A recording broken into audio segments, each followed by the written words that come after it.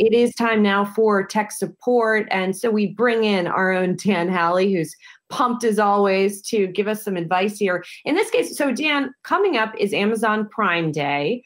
And there are some people who want to have access to the deals, but don't want to be looped into a long term Amazon Prime fee. So, how do they do that? Yeah, so Amazon Prime Day, October 13th and 14th, next week. The whole uh, idea behind Prime Day is to get you stuck in Amazon's ecosystem and hold on to your type forever.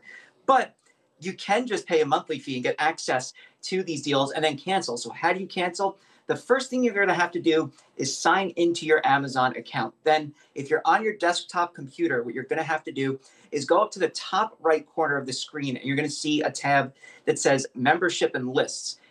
Uh, mouse over that and then scroll down, and what you'll see uh, is something called your Prime membership. Now, you're going to click on that.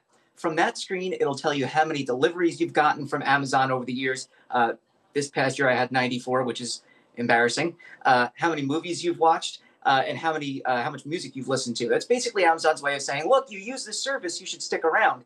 Skip it. Don't worry about that. Uh, in the top right corner of that screen, you're going to see a tab that says Manage Membership, and under that, you're going to see something that says End Membership. Uh, so click that. Uh, it'll then send you to another screen. You'll have to click End My Membership on that screen as well.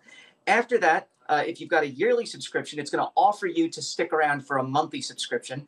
Uh, if you don't want to do that, just move forward. Uh, click continue uh, to cancel at the bottom of the screen, and then continue again, and then follow through the prompts, and you will then be free of Amazon. But there's a second way to cancel it as well. I order a lot of my stuff on my phone because it's something that my wife and I will talk about over dinner or something, and then I'll just pull it up and order it. And that's how I ended up with 94 packages for a year. So if you want to cancel on your smartphone, what you can do is tap the little three uh, kind of line button at the bottom right corner of the screen. Sometimes it's called the hamburger button.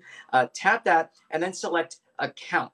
Now from there, you're going to go to manage Prime membership and then manage membership uh, at the top of the screen from there.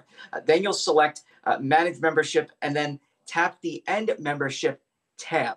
So that's going to send you down uh, another rabbit hole where it shows you all the packages you've gotten, uh, the movies and music you've seen. Uh, after that, you're going to scroll down and choose End My Membership, continue through the rest of the prompts, and you'll be free of Amazon forever, at least until the next Prime Day. Hey, Dan Howley, thank you so much. So get your bargains, but don't get roped into the fees if you follow um, Dan's advice. Hey investors, Zach Guzman here. Are you interested in learning more about the markets and getting the latest financial news? Well, then click right here to subscribe to our Yahoo Finance YouTube channel. Get the latest up to the minute market analysis, big interviews in the world of finance, and information on how to manage your money every day wherever you are.